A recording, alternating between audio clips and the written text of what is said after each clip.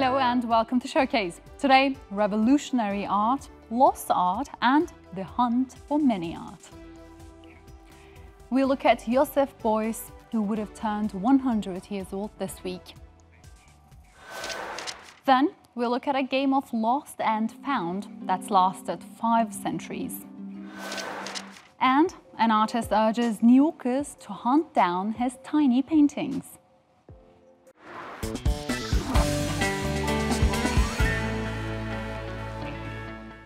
Avant-garde artist Joseph Beuys would have turned 100 years old this week.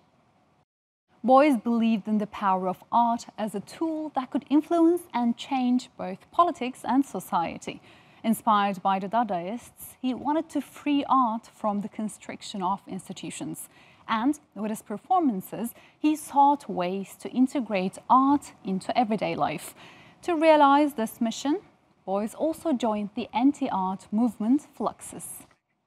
Joining me now is Philip Ursprung, who has recently published a biography called Joseph Beuys Art, Capital, Revolution. Hi there, lovely to have you with us today. I want to start with this. Obviously, Joseph Beuys was big in the day, but do you think, I mean, how important do you think he is today? I mean, was he was his art revolutionary enough to still be influential 100 years old? I think uh, he's still with us uh, with the art today. Uh, he attempted to free art from the occupation with itself, to make it accessible, to make it something democratic, uh, to make it something that everybody could participate. And even if he didn't succeed in all his attempts, this is something which uh, continues to inspire many artists today and inspire also, I think, many people who uh, are interested in art and even those who perhaps have never heard about it. Okay, in what ways do you think he keeps inspiring artists today? I mean, he had many ideas and many concepts. So please talk us through which were the most influential. So, for instance, uh, one of his ideas was that art and politics should not be separated realms, that everybody could participate in shaping society as if he or she were an artist. He said everybody is an artist. It doesn't mean that everybody has to be a perfect musician or sculptor, but that everybody can behave as if you would give yourself a commission, be responsible for your action, and with that contribute to shaping and changing uh, society. Uh, this is something which um, perhaps even today uh, many of us would, would wish to do or have more opportunity to do. And in looking at this art, it functions a little bit like a, a mirror image from the past, reflecting what happens today. Mm, is this what he called a social sculpture? Yes, he used the term social sculpture. Again, trying to uh, improve or change not only art, but also improve and change the way politics functions. Mm -hmm. Okay, so Philip, you said that he didn't think that arts and politics should be differentiated from one another, but also this really brought the understanding that he could really, you know, as Joseph Beuys, the, you know, grand artist, he could really like change the world, change the understanding of democracy in Europe and etc. So in that sense, is it a bit old-fashioned to look at politics through art that way? The utopia, the dream that everybody at any time has the potential, at least, to interfere uh, and, and to change. This uh, has been with us, uh, perhaps also in the past, since the French Revolution, and continues to be uh, an inspiring model. Mm. And also, Philip, he has a very interesting story, obviously. When we think of Joseph Beuys, we have to think of his personal story as well, because he really was trying to come to terms with his involvement in the World War II uh, through his art. So tell us what happened to him and how he was influenced by that and whether you think his uh, you know, inclination towards making political art was due to the fact that he was trying to come to terms with this fact in his life. Yes, his role in the war uh, was an important part of his life. Uh, he was a volunteer uh, uh, for the, the German army. He was uh, flying with a bomber uh, squadrons, so he was actively and, and volunteering involved. He supported the case. No? After the war, he reflected on this time and he also reflected on, on his role. He tried to create a kind of a myth in order, some say, uh, to make us forget his role, others say uh, to make it even more visible. a myth is not the same thing as reality, and for him it was a way to deal with something uh, what was crucial, but deal with it in a in a way which could be made productive, also to prevent that a war would ever happen again. So this might explain his very long engagement in the peace movement, uh, fighting against uh, nuclear armament, and eventually also becoming one of the founding members of the Green Party, where he was always part of the pacifist uh, mm-hmm. part. Okay, the charisma and the you know the personal myth surrounded uh, you know surrounding him that obviously is tied to the story that you just told us sort of polarized his audience and some still think that I think uh, was probably one of the first uh, you know modern artists that contributed to the white male genius artist myth that is sort of still criticized on a daily basis in the art world today.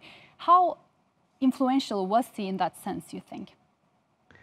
Yes, this absolutely. Uh, he was, on the one hand, trying to make art more democratic. On the other hand, he was perpetuating the myth of the white male genius artist. No? Was everything was tied to his name. Even when he created a student party, he didn't ask the students. So this is part of his heritage, and it's uh, of course a part which has to be critically reflected and dealt with. Uh, but it's not possible to reduce it only to that authority because it's also an artistic model that shows how art can work in an anti authoritarian way. There's this part of the internal contradictions of Beuys, making art that everybody should participate. On the other hand, many said, well, nobody understands your art. We cannot totally resolve that. And perhaps the fact that this tension remains uh, makes that uh, one is still interested in it. The case is not closed yet. Mm -hmm. And uh, very quickly before we wrap up, I mean, um, do you think his art, without the personal myth surrounding it, would be, I don't know, less interesting, less valuable, or perhaps less, you know, worthy to remember? Uh, he was a sculptor, uh, so if we look at the artworks, uh, they are excellent uh, formal achievements also. It's still a pleasure to wander through the installation. It's still a pleasure to see how gravity, how shape, how contrasts are dealt with. But we cannot take away the titles. The titles are part of the meaning. And we cannot take away the figure, the persona of Beuys, and even the reception, the stories that he told that others have told. So, in a way, it is as if he had become a kind of a monument where many, he himself, but also those that look at his work, have contributed. So, it's almost impossible to take away and distinguish precisely between what is the persona, what is the artist, what is the role, what is the performance, what is the work, and what are the many stories, uh, pro and contra, told about it. Lovely. It was good to have you with us today. Thanks a lot. Thank you very much. Great pleasure.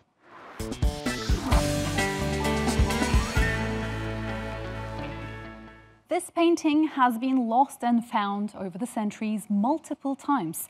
It's been sold to various art collectors, survived two world wars, and now must deal with a global pandemic. Nursen Atutar has more on this piece of art's incredible journey. This painting is called The Living Cross of Ferrara. And it's done by the Italian master Sebastiano Filippi, otherwise known as Bastianino.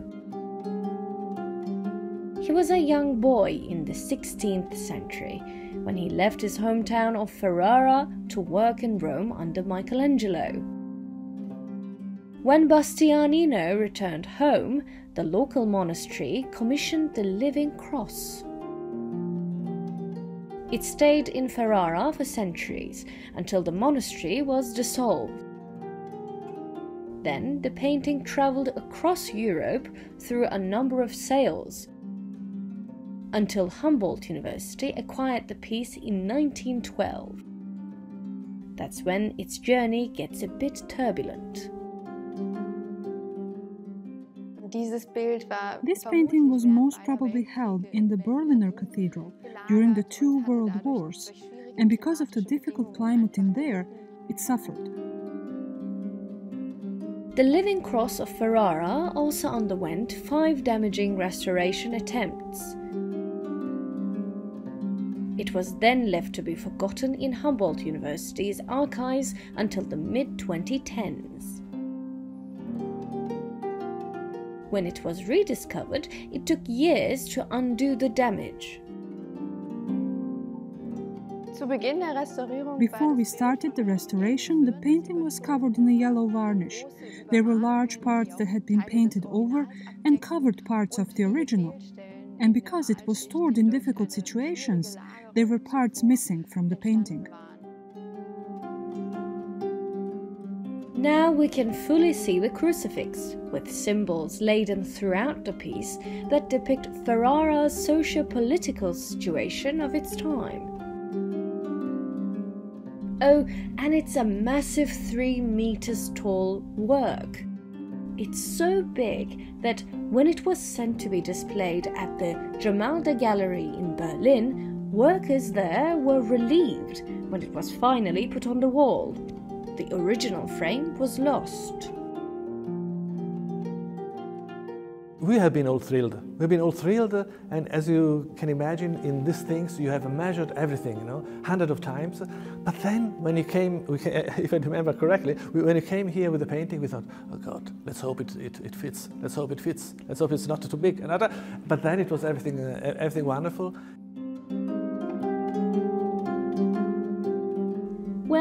Not everything is wonderful. While the painting is now beautifully hanging on a museum wall, COVID 19 restrictions mean tourists aren't allowed to see it just yet. I guess after centuries of mishaps, the Living Cross of Ferrara is still an ill fated masterpiece.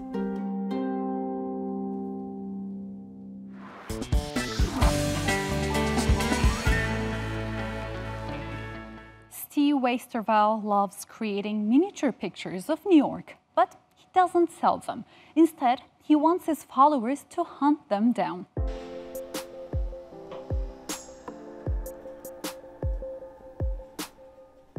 This is Steve Wasterval's latest piece created in his Brooklyn workshop. It's one of his many tiny paintings that depicts scenes from the borough but each time one is completed, Wasterval hides them in random spots on the street. And that's when the game begins. Wasterval makes an announcement on social media, giving clues to his thousands of followers. Whoever acts fast enough wins, and Wasterval says that could be anyone. It's everybody. That's, I think, what makes it so fun. So there'll be kids, but it's also mostly adults, and it's, you know, people my age. And I guess there's not older people, but there's not all ages. Yeah, all ages look, and uh, and some of them like art, some of them like the neighborhood, some of them like treasure hunts, some of them like all three. Wasterval says his mini hunt started three years ago with the hopes that he'd develop a deeper connection with his neighborhood. And despite obstacles from the coronavirus, people have been really into the project once it was people were comfortable going outside, they really wanted to go outside badly. And so this was this way uh, to have something to do outside that you didn't have to go into any place, you didn't have to spend any money, and it was like a treat if you happened to live in the neighborhood. So if you don't own any art, just hang around Greenpoint, Brooklyn long enough. Because when it's game on, the mini hunt could land you a prize from a big heart.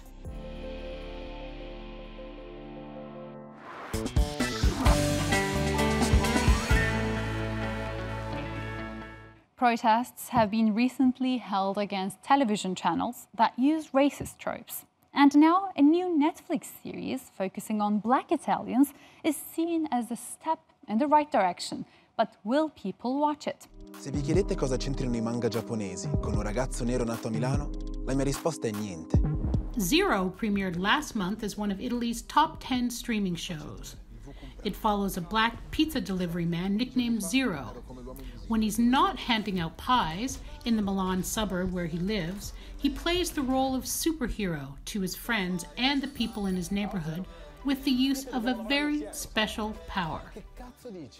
In real life, the character played by Giuseppe Dave Seke offers himself up as a role model for black Italians. The 25 year old leading actor says growing up, he never saw someone like himself on television. I had to look abroad, so I looked at many sitcoms and American TV series. But I was a bit disappointed. And in the world of today, even in Italy, there are a lot of second generation blacks, and this community is pretty strong, and we're not represented in cinema. So to be part of a series with a black story is a huge victory for me. And Zero hasn't just given representation to black Italians on screen, it's also provided jobs to black screenwriters, directors, and even hairdressers on set. Change is very difficult in a country so tied to traditions, but I tell you, I'm convinced that through these things, writing novels, the possibility of making a series, that things can change. The creators of Zero hope the series will help the public be more accepting of a multicultural Italian state. But with fairly lackluster reviews so far, it's still unknown if the show's hero can change things for the better off screen as well as on.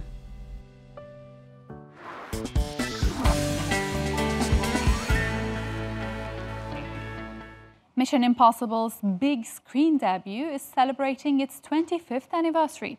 The cinematic rebranding of the MI franchise had less in common with the TV series and more with the unique vision of its director. So let's open up the movie almanac and take a look at new Hollywood outlaw Brian De Palma. Good morning, Mr. Phelps. This is your mission. When Mission Impossible made its theatrical debut 25 years ago, what surprised fans the most was the producer's choice of director. Ethan Hunt will be your point man. Until then, Brian De Palma wasn't a name linked with big franchises. To the contrary, his movies tended to be outside the mainstream. We're being ambushed. And to the frustration of the director, never reached the huge box office success that he had hoped for. What De Palma did have was a lifelong obsession with surveillance, multiple personas, and deceitful characters.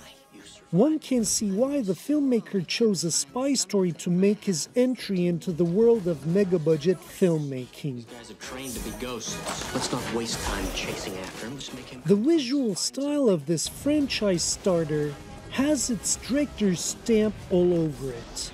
De Palma redefined blockbuster film language at the time with his trademark split screens, point of view shots, and long sequences.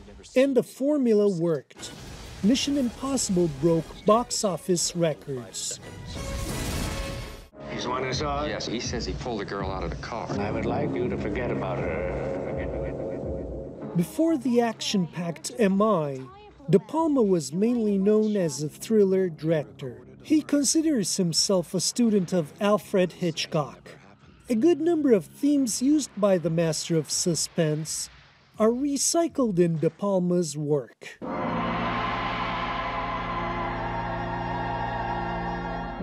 That eerie sensation that you've seen a stranger before. His movie Obsession has the overtones of Vertigo with its use of a doppelganger. Call it deja vu. This man calls it terror.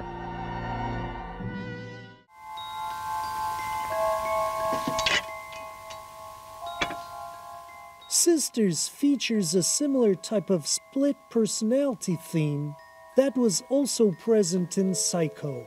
De Palma even uses certain camera techniques associated with Hitchcock, like the bird's eye view, but he uses them in a postmodernist manner. However, according to cinephile director John Landis, Hitchcock was not amused by De Palma's homage to his work and called it fromage after the French cheese. You're not supposed to cut the cake until you make a wish and blow out the candle.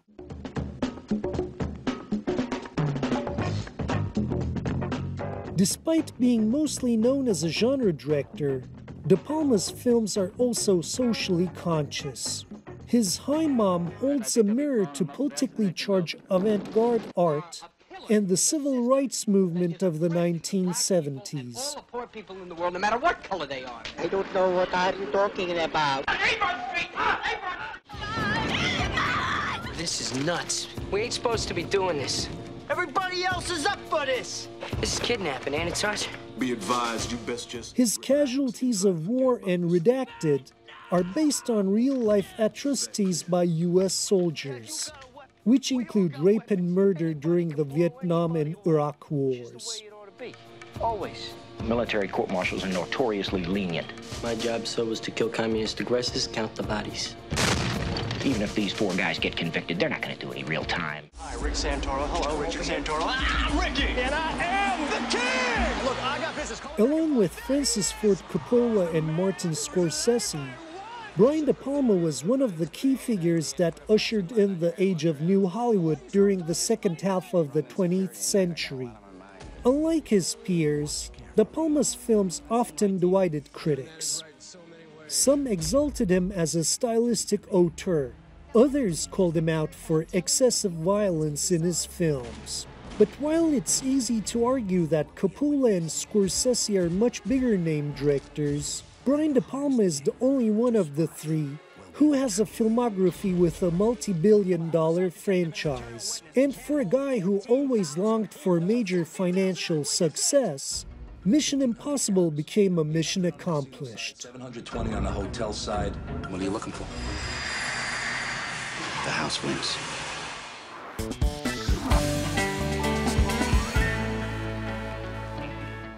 From jumping off helicopters to parkour and fistfights, the once male dominated world of stunts is attracting an increasing number of women in France. From jumping off helicopters to parkour and fistfights, the male dominated world of stunts is attracting an increasing number of women at a special school in France.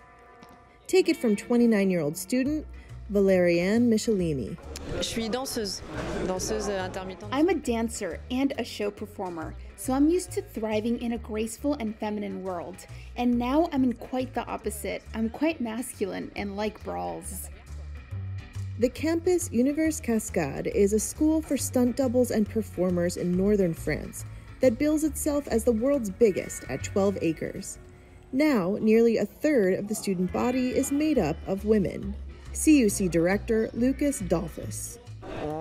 Around 30% of all students are women in each training period. For example, for this training, we have 80 students, among them 24 women.